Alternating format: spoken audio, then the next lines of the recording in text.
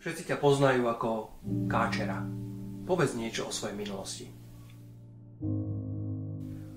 Tak moja minulosť, radšej by som o nej ani nehovoril, pretože to už je historiou. Skôr by som sa venoval tejto prítomnosti, ktorú beriem ako dar, dar od Pána Boha, že mi odpustil vlastne moju minulosť a moje hriechy. Keby som to mal zhrnúť do nejakého výroku, tak určite poznajú ľudia seriál Rýchle a zbesile a ja hovorím, že žil som tak, rýchle a zbesile, ale teraz žijem s Bohom a spanile.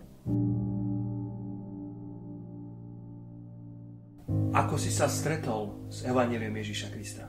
S Evangelium som sa stretol jedného dňa, keď som býval na ulici.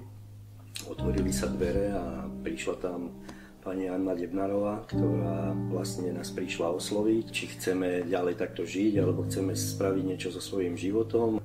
Nás zobrala do zboru slovo života, prijali sme Krista a vtedy sme tu a aleluja. Čo všetko sa zmenilo v tvojom živote? úplne všetko, úplne, úplne moje kroky, moje cesty, moje myšlienky. Začal som teraz naštevovať biblickú školu internetu v Brne.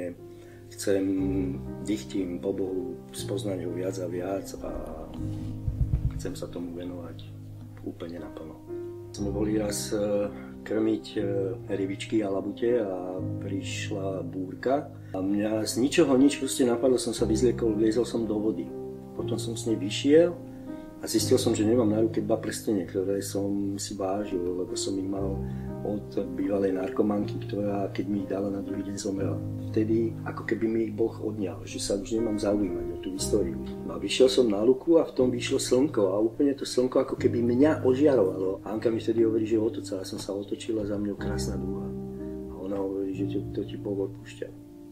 Čo by si odkázal ľuďom, ktorí žijú bez nádej? Uverte úplne sa zmenil môj život, mám skvelú prácu, skvelého šéfa, otvárajú sa mi možnosti, ľudia sú milší, dokážu sa so mňa porozprávať, čo predtým neexistovalo, takže odkazujem všetkým ľuďom, s Bohom je tá cesta a ten život úplne skvelý. thank you